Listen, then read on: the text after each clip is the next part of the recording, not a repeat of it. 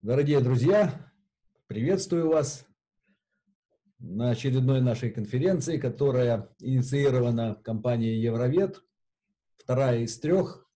Через неделю последний раз соберемся в таком формате. Но кроме того, что мы общаемся э, сейчас, мы проводим каждый день какие-то совещания, конференции в узком кругу. Круг бывает от двух человек до двадцати и причем с разными странами. Не сидим на месте.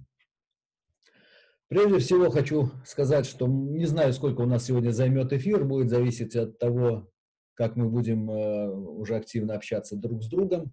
Разобьем его на три части эфир. Первая часть вводная. В вводной части у нас будет специальный гость. Э, не вижу пока, чтобы подключилась Анна Баландина. Сейчас посмотрю.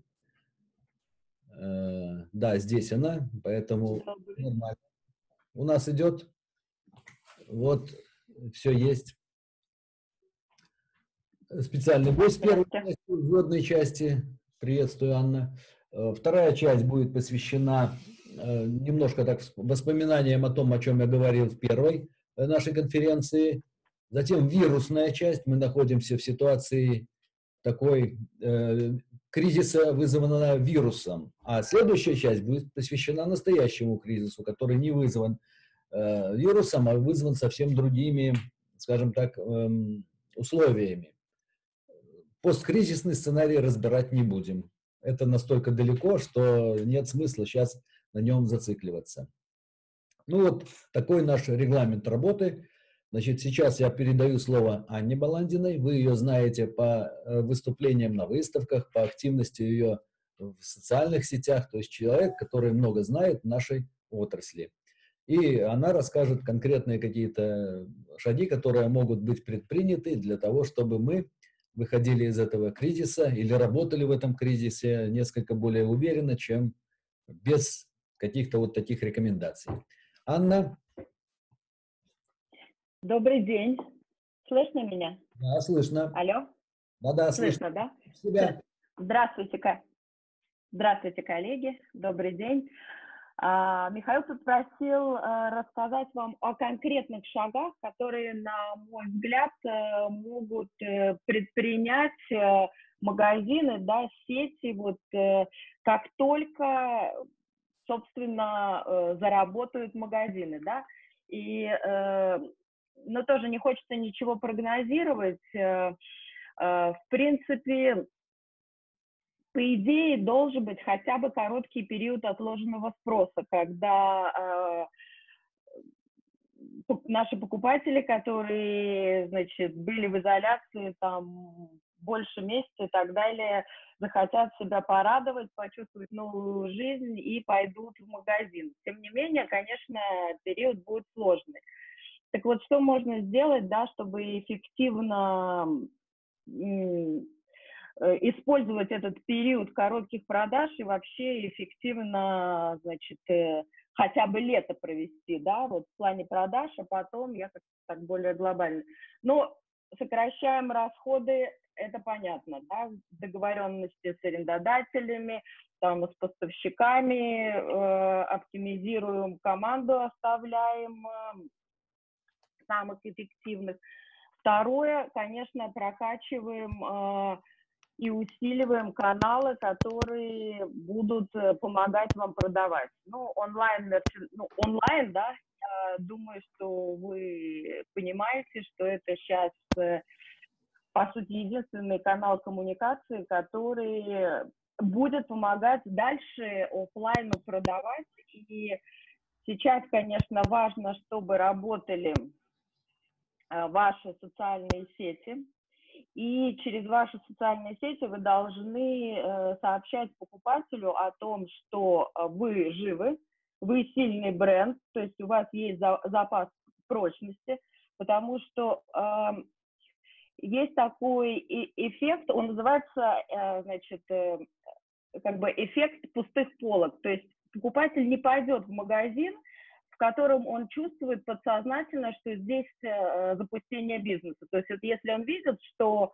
э, скажем, вы не активны, вы пропали, э, и как-то магазин у вас непривлекательный и так далее, то он это подсознательно считает, что запустение бизнеса и опять же, подсознательно выберет более, более сильного конкурента. Ну и еще важно, чтобы покупатели понимали, что а, они вам, что они вам дороги, да, что вы их понимаете, их э, беды, поэтому если у вас есть э, социальные сети, вы обязательно с ними коммуницируйте, желательно от первого лица тоже, и э, не только продавайте, но и, в принципе, какую-то такую социальную активность э, важно вести. И вообще, э, после того, как заработают магазины, конечно, на, период, на, на первый план выйдет вот это персонализированный сервис, если мы говорим не о масс-маркете, да, а вот там сегмент э, средний, средний плюс, и особенно э, а, вот, э, сегменты, где важна эмоциональная покупка.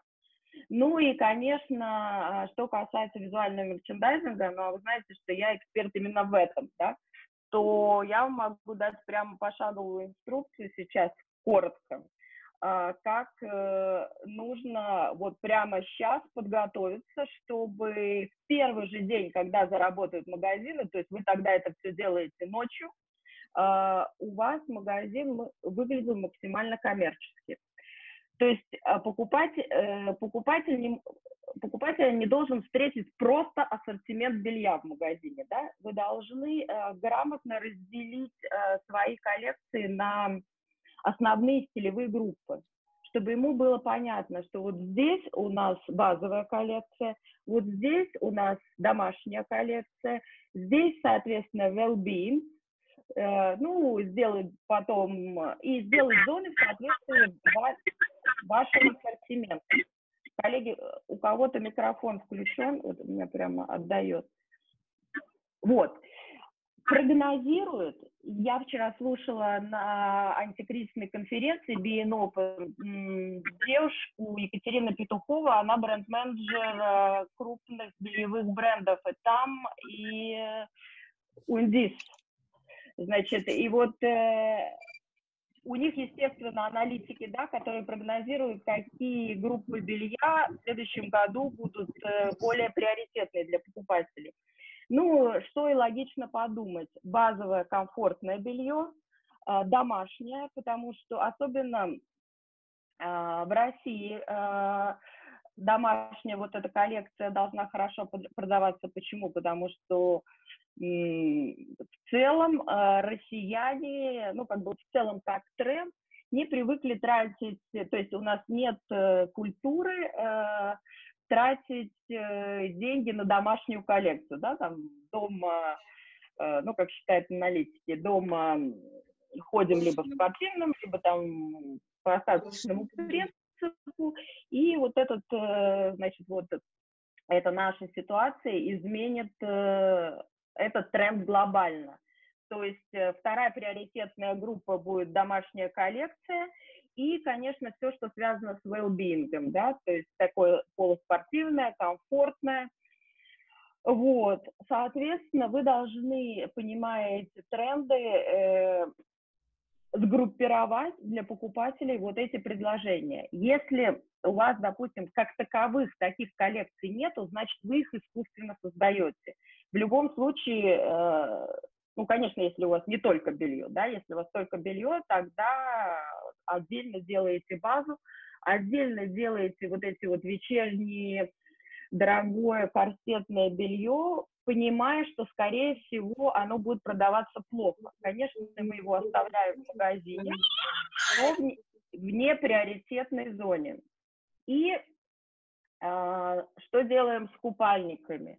Очевидно, если мы откроемся, соответственно, границы, значит, магазины откроются, границы будут закрыты, понятно, что у вас большое предложение купальников, вы их оставляете, но не обязательно их презентовать, то есть делайте для них отдельную зону, но, скорее всего, все-таки я бы не стала делать в первой приоритетной зоне магазина, а так, чтобы была видна со входа, но где-то глубже, и даже не, не обязательно там всю линейку размеров представлять, потому что е, э, если покупатель идет за купальниками, то он подождет, то есть увидев модель, он подождет, пока вы ему принесете правильный размер. То есть, значит, шаг один, вы э, делите свои коллекции на стилевые группы, понимаете вот по прогнозам, какие должны хорошо продаваться, и их презентуете приоритетно.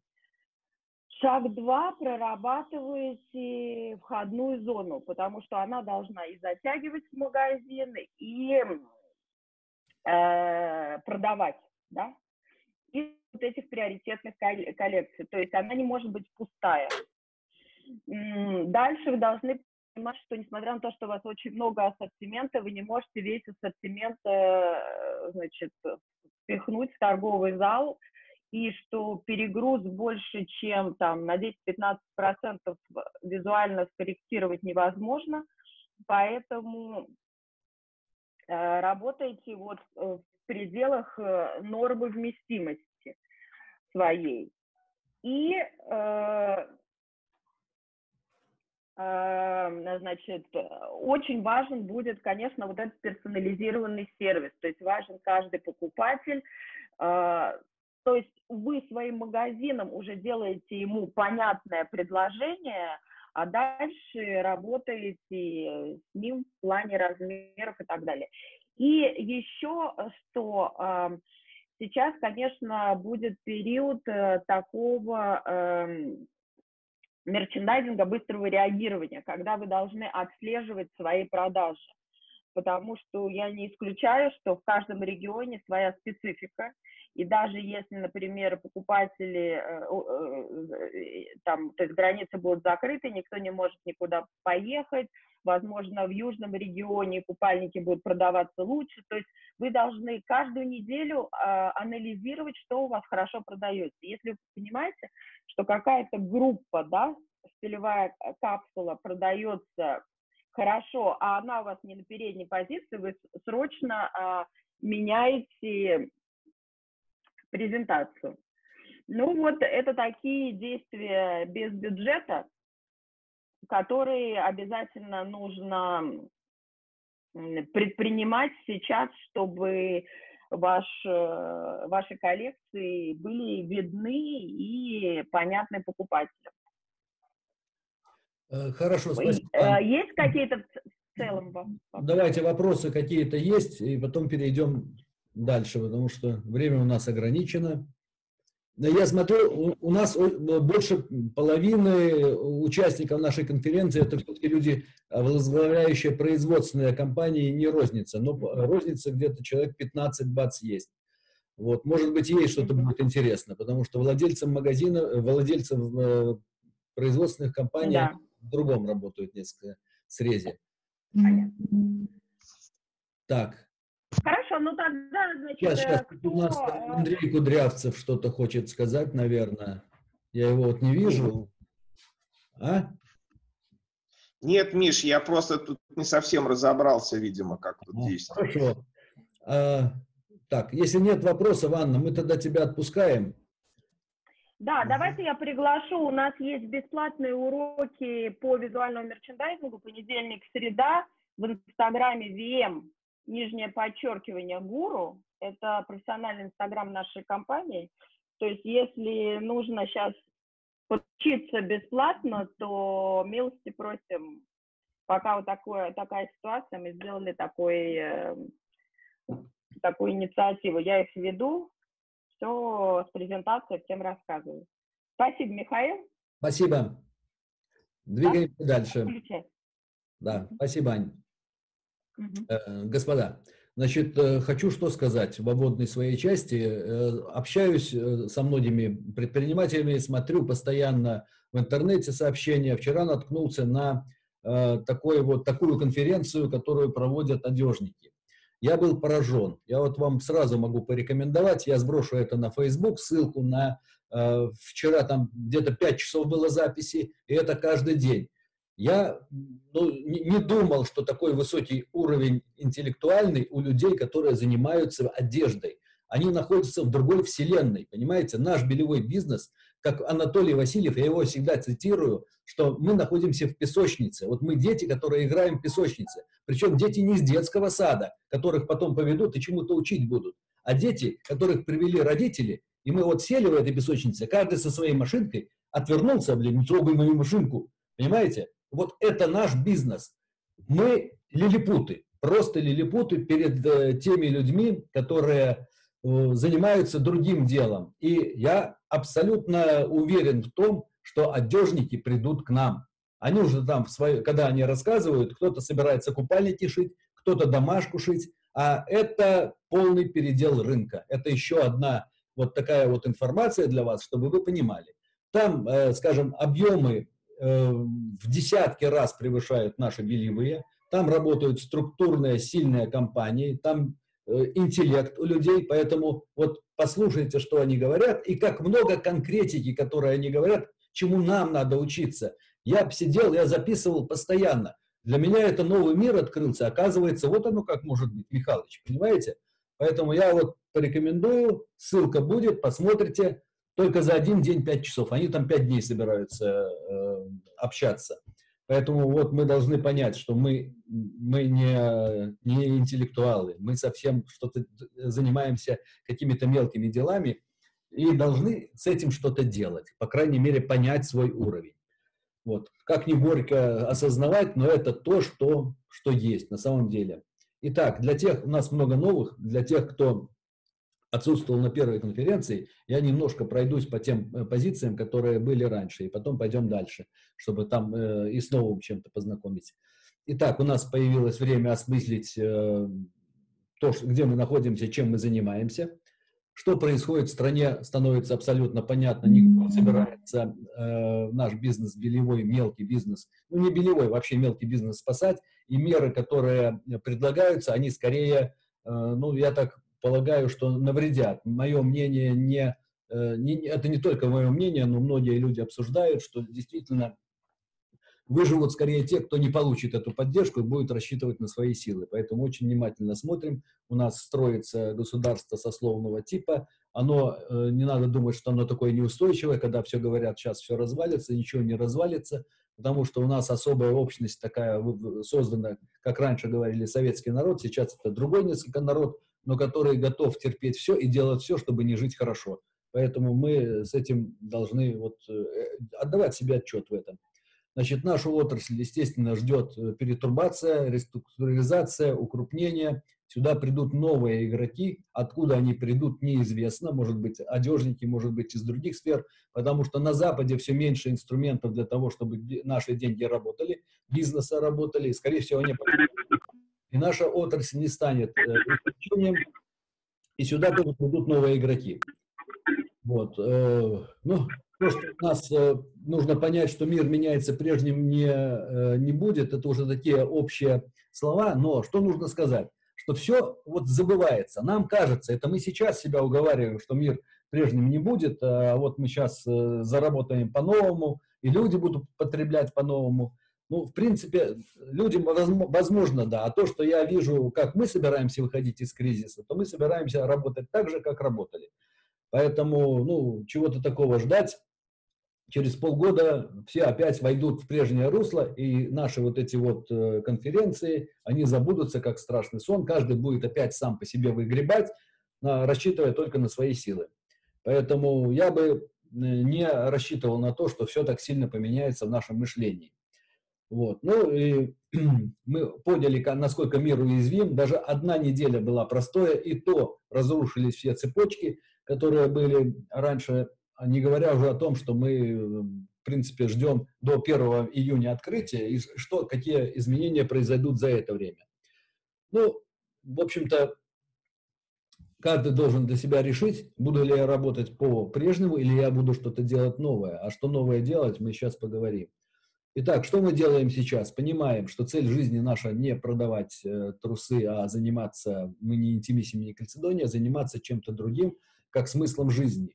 Посмотреть на себя критически, то есть вы лидер или кто? Ну, вот, э, знаете, здесь основатель сети кофеин, как он, Андерсон, да, выступает, и я тоже приведу ссылку на ее очень интересный пост, который сегодня мы увидели, она говорит наоборот, да, что, в принципе, не нужно рассчитывать, скажем так, больше на себя, э, вот, и не рассчитывать на государство. То есть непонятно там, на, на кого рассчитывать, но почитайте, будет интересно для всех вас.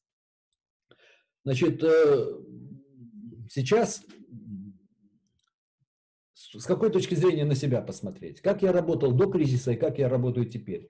Мои многие знакомые сейчас работают значительно больше, чем работали раньше. И у меня, в принципе, то же самое получилось, хотя и так не сидел на месте. Но просто это другая работа. Так вот, каждый для себя, пожалуйста, отметьте, я работаю больше, эффективнее, чем я работал раньше или нет. Потому что есть компании сейчас, которые растут в разы. Продажи растут в разы. Так, э, у нас пишет, что мне, что конференция завершится через 10 не, э, минут, тогда надо будет еще раз зайти. Вот. Ничего страшного в этом нет. Так, Максим. Максим. Так, я здесь. Слышно меня, да? Так, пойдем дальше. А, на чем я остановился? Да, насчет продуктивности работы. Есть компании, которые работают, и это не только онлайн-компании. Есть э, магазины, не у всех, э, не у всех, э, не во всех регионах, скажем так, жесткий режим, сидим, никуда не ездим. Вот. Есть магазины, которые работают, работают по доставке продукции, общаясь в соцсетях, получая заказы, и они разводят сами. Таким образом, они еще расширяют свою клиентскую базу. Дальше, что мы еще должны понять? Это, опять же, связано с песочницей Васильева, как я называю, с этим феноменом. Значит, э, будем ли мы работать в одиночку или мы будем работать в сообществе единомышленников? Раньше я придерживался мнения, что мы можем объединиться, сделать какой-то какой союз и работать совместно. Так вот, э, по, э, скажем, прошествии какого-то времени понятно, что мы этого сделать не можем, не будем и пытаться. Вот, то есть честно себе ответим, мы не способны договориться. Возможны альянсы на коммерческой основе, безусловно, но что-то создавать такое не на коммерческой основе, какие-то такие э, а, организации, которые будут лоббировать интересы, делать жизнь там э, сообщества Белевого э, более интересной, на этом можно поставить крест, расслабимся, будем заниматься бизнесом, объединяясь в ситуационные какие-то э, такие команды, которые нам помогут выжить. Вы, выжить.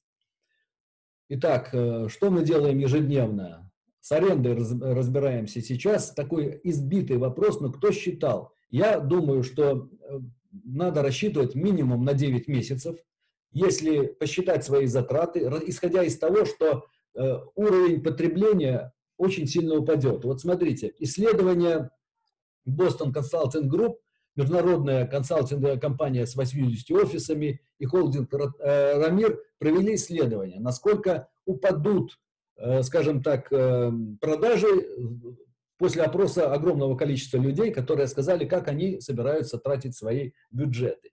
Так вот, минимум 60% падения будет происходить, понимаете? 60% закладывать в свои расчеты. Вот я буду 9 месяцев там, допустим, работать э, в торговом центре, и у меня минус 60% того, что было раньше. Я выдержу или нет? Так вот, что в этой ситуации делать? Конечно, бежать. И бежать быстро. Бежать, если есть силы в э, стрит-ритейл, но нет сил, значит, э, шоу-румы делать или какие-то другие предпринимать меры, потому что вы не выживете, просто не выживете. Поэтому вот сейчас такой момент, когда еще не открылось все, но вы уже четко можете видеть свое будущее и просчитать его. Вот. Так что э, я вот очень рекомендую. Значит, с персоналом, опять же, такой момент истины, э, решать, кто с вами, кто без нас, кто без вас. И, э, значит, здесь трудно всегда сокращать, но это тот момент, когда вы можете действительно избавиться от людей, которым, которых вам было раньше тяжело уволить. Ну, пользуйтесь этим моментом, оставляйте э, лучших. Вот. Ну, я всегда говорю, что профессия продавца сейчас это не продавец. Те, кто хочет остаться в этом бизнесе розница, значит, ищите людей, которые способны работать с людьми, у которых есть для этого либо э, личные качества какие-то врожденные, либо они научились этому и могут эффективно этим пользоваться. Поэтому, пожалуйста, вот э, на это обращайте внимание. Вот. Пересматриваем пул поставщиков, анализ ассортимента, анализ брендов, кто с вами, кто без нас, кто без вас. Вот эти вот коммуникации, которые раньше не были так важны, сейчас они становятся определяющими. Кто вам помогает, кто заботится э, о вас, кто с вами на связи. Видимо, вот такие вот э, отношения и должны укрепляться. Все остальное это будет у вас балластом. Самое время сейчас заниматься этим. Присмотритесь к коллегам в, свое, в своем городе. Если я говорил о том, что невозможны объединения такие глобальные, то локальные, они возможны. Почему? Потому что это чисто коммерческий процесс, э, вернее, проект будет. Если вы в городе вдвоем, втроем э, представляете какую-то такую значимую силу, общайтесь, потому что у вас много конкурентов, которые более слабые. И сейчас выживает, безусловно, сильнейший. Вы сможете поделить рынок, понимая, что вы на одно, одни не будете на нем никогда. Общайтесь. Это такие ситуационные, э, скажем, объединения, которые будут живучи, которые позволят вам и создавать закупочный союз, если надо, вот, получать лучшие условия но это позволит вам работать в более комфортной среде. Не среди вот, э, людей, которых, с которыми не хочется даже общаться, э, боитесь зайти к ним в магазин, потому что там гоняет вы конкурент. Нет, вы можете занимать значительно большую долю рынка, поднимать тех клиентов, которые уходят от закрывающихся магазинов и богатеть вместе. Ну, много поговорок на этот счет есть, поэтому я не буду тут углубляться.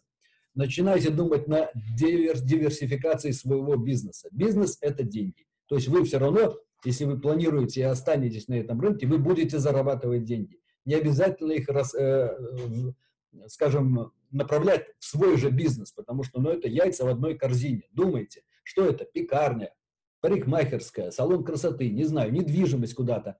Разные есть э, моменты, куда можно, пути, куда можно деньги вкладывать, поэтому, по крайней мере, начинайте думать. Не у всех это получится, не всем это надо, но кто-то может найти выход в этом направлении. Фонд развития, о котором я вот тоже говорил, создавать фонд развития, но, безусловно, это не кубышка, которая вот банка денег, и она где-то там лежит. Фонд развития – это, безусловно, вложение в какие-то очень ликвидные активы. Может быть, у нас, не у нас, вот, но задуматься это, об этом надо. И он раскрывается, кубышка, тогда, когда надо стартовать, а не когда надо ее тратить, тратить, тратить. Для этого, ну, тут мы э, все оказались в одинаковом положении, это все произошло резко, тут никакая кубышка особенно не спасет. Вот она спасает на старте.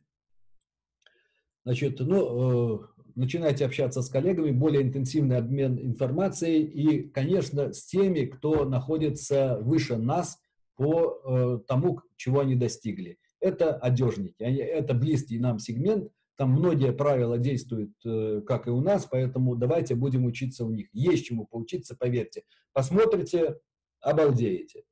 Что там уже, куда они уже ушли. Вот. Ну и что, вот э, теперь я перейду к посткризисному э, миру, первому, первому его этапу. То есть то, что мы сейчас делаем, я коротко сказал, пока еще ничего не открыто, а чего будем делать, что произойдет на рынке, вот когда скажут, ну, пожалуйста, давайте, открывайтесь, идите, зарабатывайте деньги, мы выполнили свои обязательства, вы выжили, вот, и что вы теперь будете делать? Первое, это рост, безусловно, на рынке произойдет рост э, интернет-продаж. Это крупные э, маркетплейсы, такие как Wildberries, пройдут по рынку как цунами. Это будет сначала огромный всплеск. Все поставщики постараются туда пойти, потому что обычные каналы, обычные цепочки поразрывались, и туда довольно, скажем, ну, это понятный путь, который и сейчас используют, и другие попытаются использовать резко вырастет предложение, люди, привыкшие немножко покупать в интернете, э, то есть а, уже опробовав этот э, канал, будут, безусловно, покупать. И вот этот, э, этот цунами может поднять рост там и в два раза, на, я имею в виду по белевой группе, там и так растет все значительными темпами. Вот. За счет кого? Ну, конечно, за счет офлайновой розницы. Других нет у нас. И за счет сетей, кстати, таких как ну, крупные международные сети или федеральные, за их счет тоже. Но этот цунами довольно быстро пройдет. Люди ну, я вот э, представляю человека, который ожидает посылку, заказал там бюст или что-то там такое интересное для себя, и вот он ждет ее, он ее ждет день, два, может там неделю ждет, он рассчитывает на что-то, он уже весь в этом мечтах, как он откроет эту коробочку, и вот он открывает эту коробочку, а может быть не ах, а не ой, там так все классно, а ах, вот, вот я вот попал еще на последние деньги. Поэтому, безусловно, там будет откат в нашем сегменте бельевом, но, в принципе, когда эта волна спри, э, уже, э, скажем, скатится, это все равно будет э, плюс 20, это точно у них, а у нас, ну, от нас это все отнимется. Если в цифрах так посмотреть, давайте посмотрим.